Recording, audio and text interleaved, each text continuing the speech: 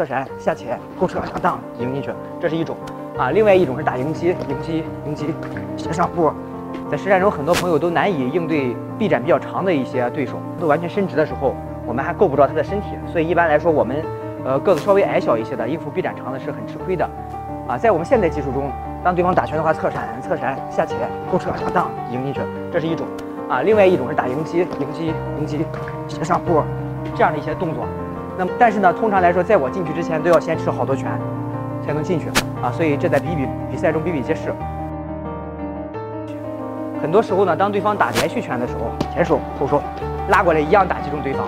为什么呢？因为当对方打前拳再打后拳，那么我们用后援桩的架势封住了他。这个时候，虽然我们可能没有接触到对方的脸，但是我们接触到他身体的任何一个部位了。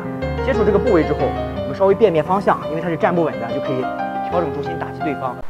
加微信“星武文化二”获取九元体验课，就是我不需要接触到他的身体啊，不需要打中他，我只需要有一个点接触到他，立刻可以把他的重心调调背对，打不中我。很多人就说，那你不管对方的后拳吗？我们举个例子，当对方打前拳，我接触对方，对方打后拳，第一，我们依然是用后援桩打勾拳、勾拳、勾拳，去阻隔着，依然能够把对方拉过来，砰进行击打。道理是以上这样，但是如果大家想在实际的应用中做出来。那么就需要你有很好的装工，欢迎大家按照正确的方式去站桩，学习我们的正式课程。